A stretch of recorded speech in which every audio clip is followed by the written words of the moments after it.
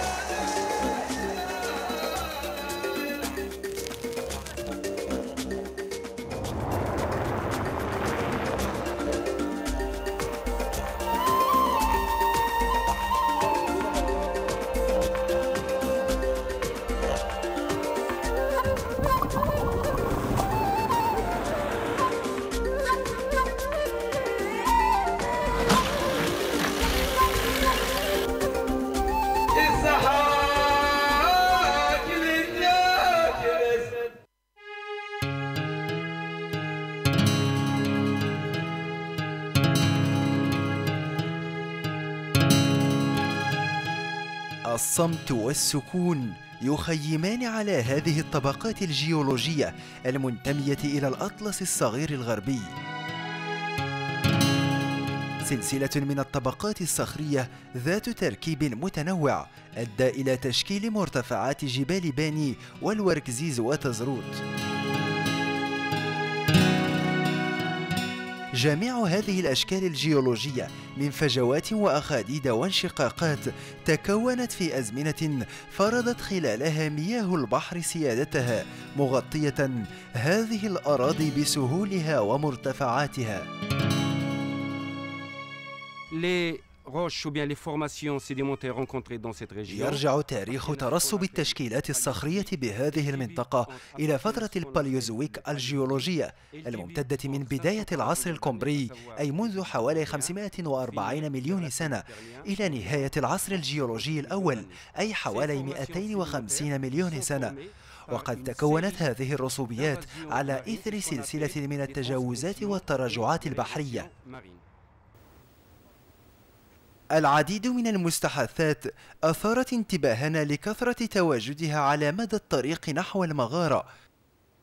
مستحثات حافظت على أنواع شتى من بقايا الكائنات الحية سواء منها النباتات أو الحيوانات. Donc cette région de l'anti-Atlas est très riche en contenu. هذه المنطقة من الأطلس الصغير غنية بمستحثات النباتات والحيوانات.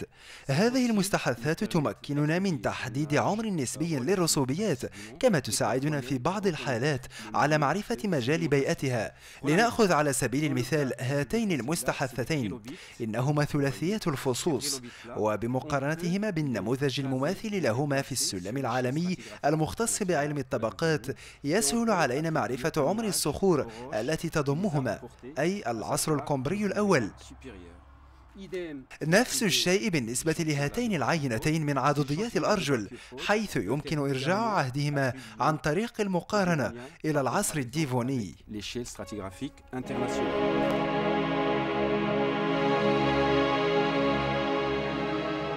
يتم تكوين المستحثة عبر عدة مراحل تستغرق ملايين من السنين.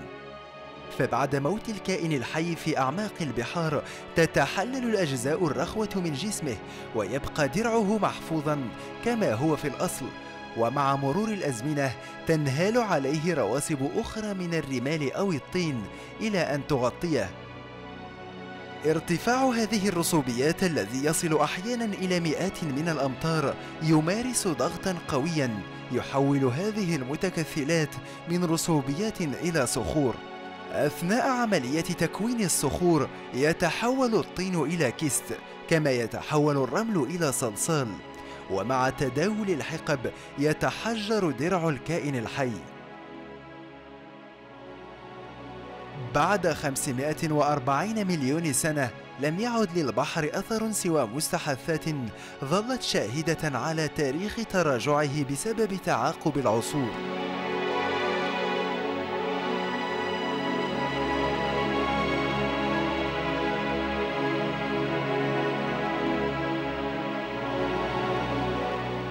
بعد آلاف من السنين كانت الأنهار لا تزال تغمر هذه الأراضي حيث عاشت وسط أدغال خضراء حيوانات ضخمة جميعها انقرضت سوى الضبع الذي استطاع الصمود والبقاء. اقتربنا من الهدف وبدت لنا علامات تنبئ بوجود الضبع هنا مما شجعنا على التقدم آملين رؤيته. إلا أن ما سمعناه من الخليل أثار قلقنا. ويجيب المغارة ويطرح عندها ويأكل فيها. كان يجر الجثة حتى يدخلها إلى مغارته وهناك يبدأ في افتراسها. مرة أحضر الشبان من المغارة رأسا لجثة آدمية فقمنا بدفنه.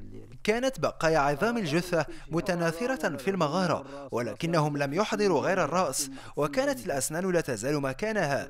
كانت بينها سن من النحاس. أتوا بالرأس محمولا فوق عصا أثبتوها بالعنق كما لو كانوا يحملون قنينة غاز صغيرة. بحال البوطقاس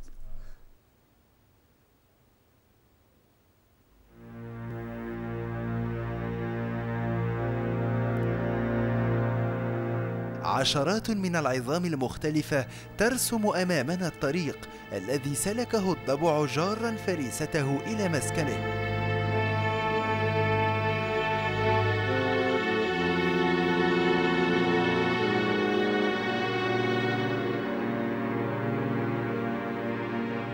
بعضها للمفاصل والبعض الآخر من العمود الفقري وحتى الجمجمة سقطت ضحية الضبع الوحيد الذي يمتلك أصلب فكين من بين جميع الحيوانات المفترسة. شراسة الضباع وسرعة التهامها تجعل الواحد منها قادرا على ابتلاع 14 كيلوغراما من اللحم مرة واحدة.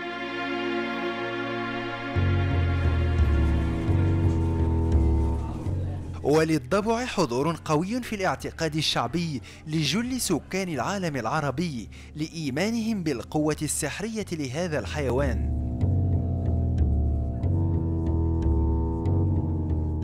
ورغم محاربة هذه الظاهرة من الشعوذة التي ذهب ضحيتها العديد من الحيوانات والآدميين فإن ذلك لم يمنع من استمرار تواجدها كممارسة تطبع سلوك بعض الفئات من المجتمعات.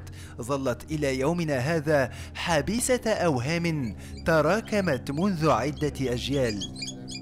والثابت أن خوف الناس من الضباع جعلهم يستهدفونها بالقتل المجاني مما أدى إلى القضاء عليها في أماكن انتشارها خاصة في الجبال والصحاري. ونتيجة لذلك أصبح هذا الحيوان مهددا بالانقراض حاليا بالمغرب. 88 والله ما نعرف كان يشتو عاقب ذاك ولا ماشي. سنة 1988 كانت آخر سنة رأيت فيها الضبع. لقد كثرت مطاردته واصطاد منه الناس الكثير. كانوا يضعون له اللحوم التي يشتهيها في الكمين. وكثيرة هي الضباع التي وقعت في الفخ.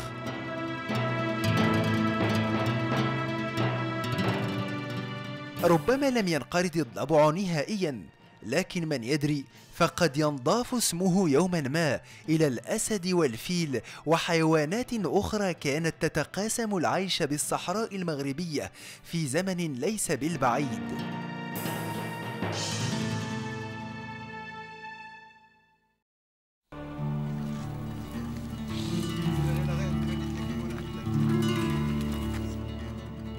أثناء توقفنا عاد الشيخ أيتشقوط إلى تلقين دروسا تنفعني دعاء أثناء نزول خطر مفاجئ. كان يقول مؤكدا إذا تمكنت من حفظ هذه الصور فلن تخشى الآدميين ولا من الضبع ولن تقتل أبدا.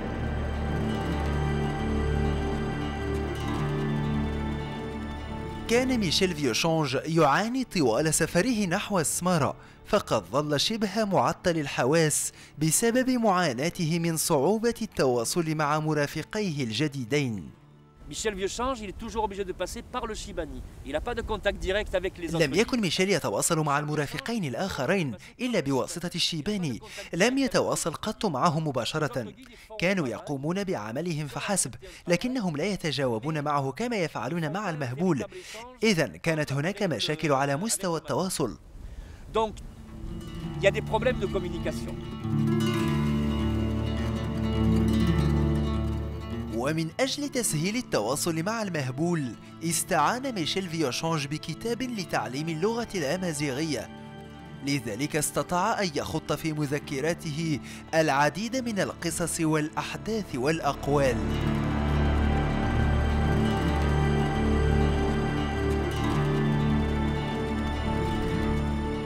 انتظرت قليلا حتى أصبحت الشمس أكثر ضياء فالتقطت صورة ثم التقط لي المهبول صورة أخرى.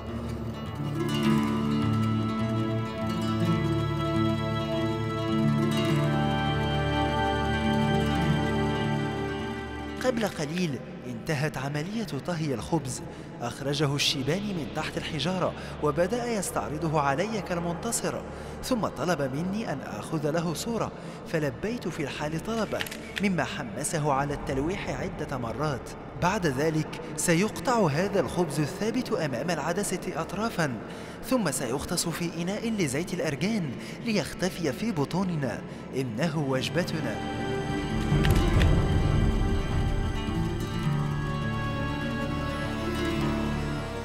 لم يعد الشيخان يستدلان بضوء القمر لمعرفة الاتجاه الصحيح. لا وجود في السماء لنجمة نيرة لا وجود على سطح هذه الأرض لأي أثر يمكن أن يساعدنا على الاهتداء. بفضل بوصلتي التي بين يدي توضح بأن الشيخ الرقيبي يتقدم في الاتجاه غير الصحيح. Michel Vieuxchange a une boussole. كانت مع ميشيل فيوشونج بوصلة. لذلك فهو يعرف جيدا أين يوجد الشمال والجنوب وكذلك الشرق والغرب. وذات يوم قال ميشيل فيوشونج للمهبول بأن البحر يوجد في هذا الاتجاه وهذا أمر طبيعي فالبوصلة تدلنا على أن البحر هناك. ثم قام المهبول بترجمة ما قاله فيوشونج لمبارك أحد المرافقين الذي غضب. لاعتقاده بأن الفرنسي أراد أن يعطيه درسا والأمر غير ذلك تماما. فقد قال له بأن البحر من هنا. إذا كان يصطدم دائما بمشكل التواصل. لأن ذلك المرافق لم يستطع فهم هذا الأجنبي الذي يريد أن يريه اتجاه البحر. بالنسبة. إليه يستحيل على شخص أجنبي معرفة جهات المنطقة ما دام لم يرها من قبل.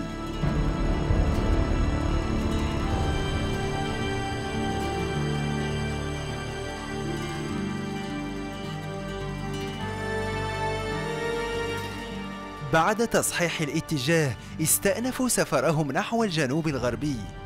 الثلاثاء الثامن والعشرون من شهر أكتوبر سنة 1930 لم تعد المسافة الفاصلة بينهم وبين سمارة سوى ثلاثة أيام ما لم يتعرضوا لحادثة مفاجئة.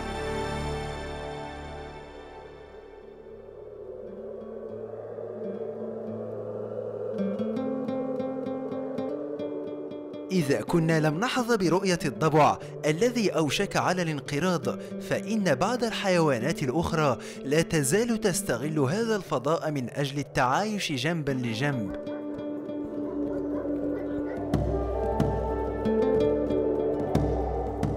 إلا أن هذه الكلاب بدت لنا وحيدة دون منافس أو أنيس. ولم نكن نعلم أن هذا الأديم يخفي بين ثناياه أسرار مجتمع كامل من الكائنات. حياتها نسيج من الأحاسيس والقصص.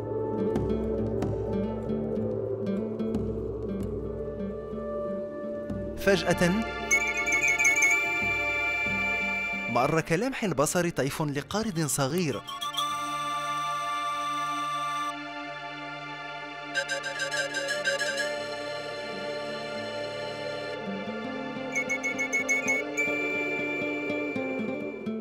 فتوقفنا لحظة لنقترب أكثر من عالم هذه الحيوانات التي فضلت العيش وسط هذا الخلاء. إنها اليرابيع أجمل القوارض في الصحراء.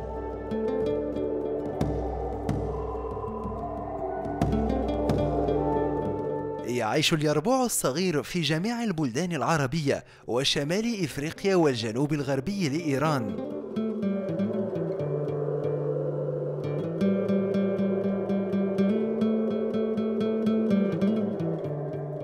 ويتكون غذاؤه من جذور وبراعم النباتات الصغيرة والبذور والحبوب ولا يشرب الماء حتى وإن توفر حيث يكتفي بكمية السوائل التي يمتصها من النباتات. ورغم أن اليربوع حيوان ليلي انفرادي إلا أنه يخرج أحيانا بالنهار.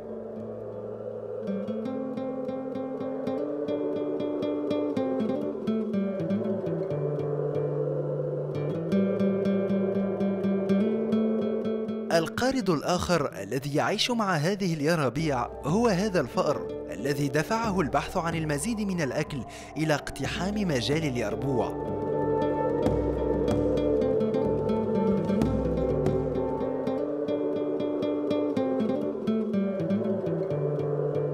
إلا أن الفأر غير مرغوب فيه.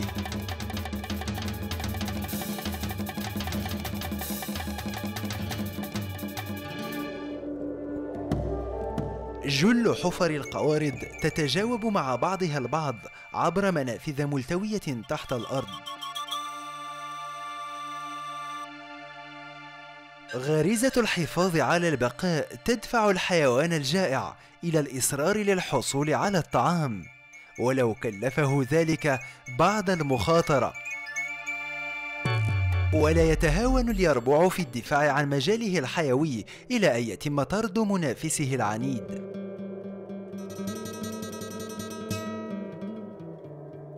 تتكاثر اليرابيع ثلاث مرات في السنة وتضع صغارها من أربع إلى خمس بعد مدة حمل تصل إلى خمس وعشرين يوما. لكنه من الصعب أن يتوالد اليربوع في الأسر وإذا ما وضعت الأنثى أثناء ذلك فإنها تترك أبنائها يموتون.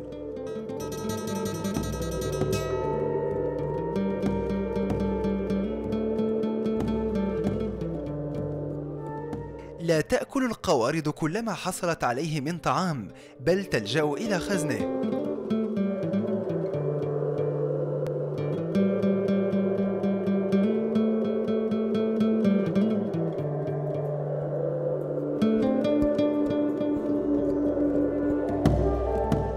وإذا حل عدو ما في مجالها الطبيعي فإن القوارض قادرة بفضل حاسة شمها القوية وحاسة السمع الحادة أن تنتبه إلى اقتراب الخطر واتخاذ الحذر.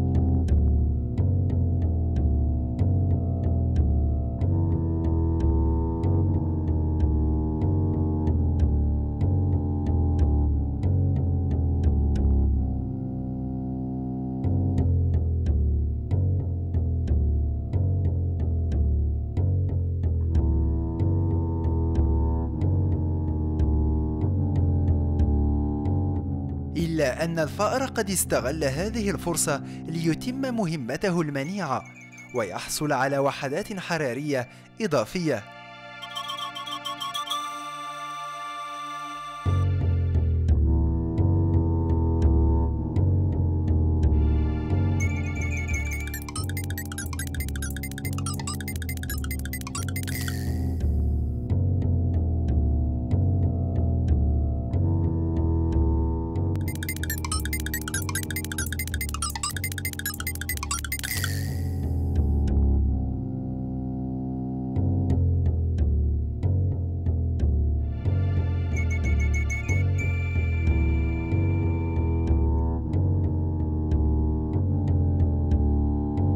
لكن سرعة الفأر الفائقة جعلته يتفوق على الكلب الجائع الذي سيكرر محاولة البحث عن ضحية سهلة.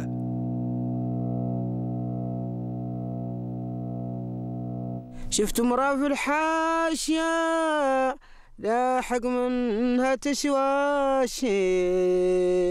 أورد ميشيل فيوشونج في مذكرته أسماء العديد من الحيوانات التي كانت آنذاك متواجدة في فيافي الصحراء كالغزالات والضباع والأرانب البرية.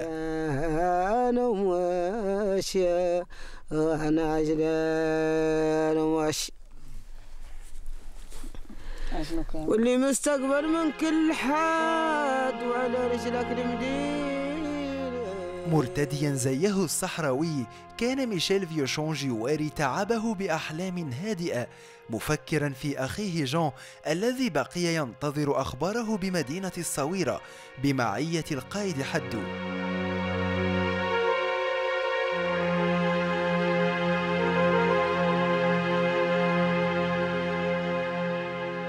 في الثاني والعشرين من شهر أكتوبر سافرت شابة من فرنسا متوجهة إلى المغرب لتنتظر عودة ميشيل فيشونج من السمارة. لم تكن جاني سوى خطيبته التي تدرعت لعائلتها بكونها سترافق طاقما من الممثلين لعرض مسرحية بالمغرب. كتبت تقول في مذكراتها هدفه أريد أن يبلغه من أجله. لأن شجاعته وقوة عزيمته لا يجب أن تروح سدى. ولكنني حينما أنظر إلى نفسي فإنني لا أتمنى سوى أن أملأ بالقبلات وجهه المتسم بالبراءة والمشع بالحيوية. هذا الوجه الذي يوحي إلي بكثير من العطف وكثير من الطيبوبه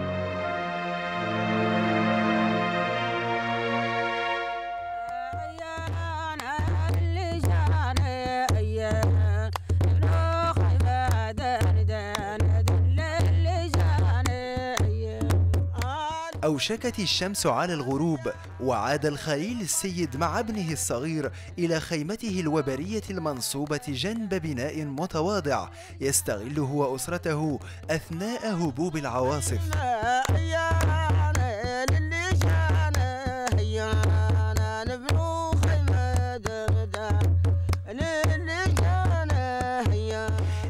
من أسر الرحل يعيش أهلها على وتيرة واحدة في الصحراء وأطفال صغار يتنقلون معهم معانين نفس المصير.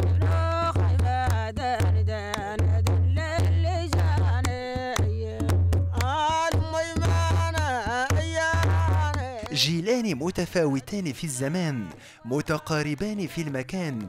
جيل أوشك على الرحيل فانطوى على أسرار الماضي وجيل محروم من الحاضر يوشك على اقتحام غياهب المستقبل.